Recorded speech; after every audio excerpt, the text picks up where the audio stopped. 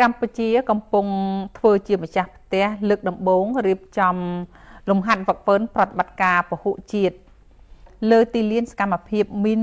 មនុស្សធម៌ក្នុងក្របខ័ណ្ឌកិច្ចប្រជុំរដ្ឋមន្ត្រីការពារជាតិអាស៊ានបូកក្រមប្រធានបទមាតុភូមិដល់បវរឆ្នាំ2023ពិធីបើកលំហាត់វឹកវើនេះបានធ្វើឡើងនៅព្រឹកថ្ងៃទី13ខែកញ្ញាឆ្នាំ2023ក្រោមអធិបតីភាពនាយកឧត្តមសេនីយ៍ ក្រមអធិបតីភាពនាយឧត្តមសេនីយ៍សែមសវណ្ណីអនុប្រធាន ទី1នៃគណៈកម្មាធិការជាតិនិងជាអគ្គនាយកមជ្ឈមណ្ឌលជាតិសន្តិសុខសន្តិភាព និងជាអគ្គនាយកមជ្ឈមណ្ឌលជាតិរក្សាសន្តិភាពលំហាត់វឹកវើនេះក៏មានការចូលរួមពីវរៈសេនីយ៍ឯកពិសេសយ៉ាងប៊ីនប៊ីននាយរងសេនាធិការសម្ព័ន្ធ អង្គភាពតបលេខ75នៃកងទ័ពរំដោះប្រជាជនចិនរួមនឹងទាំងនីតិហាននីតិហានរងពលទាហានសិក្ខាកាមយោធាចារជាតិអន្តរជាតិពិធីបាក់វគ្គវឹកវើបានធ្វើឡើងនៅសាលាវឹកវើកងកម្លាំងរក្សាសន្តិភាពពហុសាសនេះជាលើកដំបូងសម្រាប់កម្ពុជាក្នុងការធ្វើជាម្ចាស់ផ្ទះនៃលំហាត់វឹកវើនេះដោយមានកងទ័ពរំដោះប្រជាជនចិនជាសហប្រធាន លំហាត់ប្រព័ន្ធពហុជាតិនេះត្រូវបានរៀបចំឡើងយ៉ាងយកចិត្តទុកដាក់ក្នុងគោលបំណងផ្លាស់ប្ដូរបទពិសោធន៍ពីគ្នាទៅវិញទៅមកក្រោមកិច្ចសហប្រតិបត្តិការជាមួយមិត្តចិន និងកងកម្លាំងពហុសាសសរុប14ប្រទេស មកពី4ទ្វីបអាស៊ីអឺរ៉ុបអូសេអានីនិងអាមេរិករួមមានប្រទេសអូស្ត្រាលី ប្រុយណេដារូសាឡឹម កម្ពុជា ចិន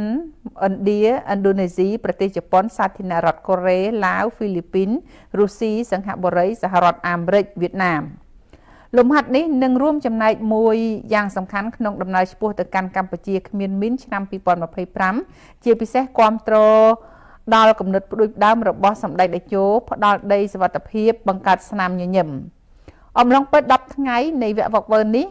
សិក្ខាកាមនឹងមានដំណើរទស្សនកិច្ចសិក្សាទៅកាន់តំបន់ទេសចរកំពុងមានសក្តានុពលនៅកម្ពុជារួមទាំងធ្វើកិច្ចការមនុស្សធម៌បន្ថែមលើការវឹកហាត់នៅទីលាន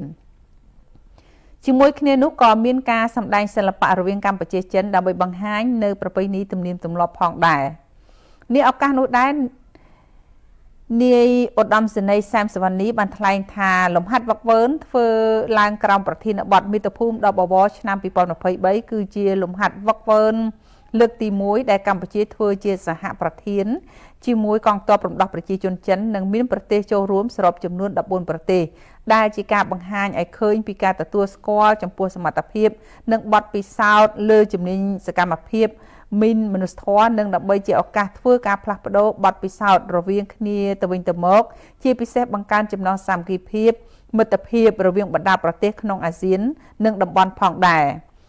នាយឧត្តមសេនីយ៍សែមសវណ្ណីបានបញ្ជាក់បន្ថែមថា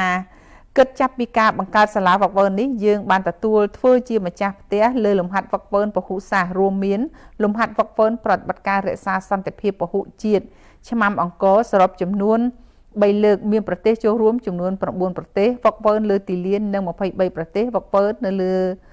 នៅទីបញ្ជាការដែលជាការឧបត្ថម្ភរបស់គម្រោង G Point វគ្គវឹកវើនេះជំនាញបច្ចេកទេសប្រឆាំងបន្សាប់គ្រឿងផ្ទុះកែច្នៃនិងកំទេចគ្រឿងផ្ទុះថ្នាក់អាស៊ាននិងតំបន់ក្រោមជំនួយឧបត្ថម្ភរបស់សាធារណរដ្ឋបារាំងចំនួន5វគ្គមានប្រទេសចូលរួមសរុបចំនួន12ប្រទេសថ្មី ថ្មីត្បិតនេះជាលើកដំបូងដែលកម្ពុជារៀបចំលំហាត់វឹកវើប្រតិបត្តិការពហុជាតិលើទីលានសកម្មភាពមានមនុស្សធម៌ក្រោមប្រធានបទមាតុភូមិដល់បវរឆ្នាំ2023តែនាយឧត្តមសេនីយ៍អគ្គនាយកមជ្ឈមណ្ឌលជាតិរក្សាសន្តិភាពរំពឹងយ៉ាងមុតមមថានឹងប្រព្រឹត្តទៅបានយ៉ាងល្អព្រមជាមួយនឹងឱកាសក្នុងការអនុវត្តលំហាត់វឹកវើពហុជាតិជាបន្តបន្ទាប់នៅកម្ពុជា។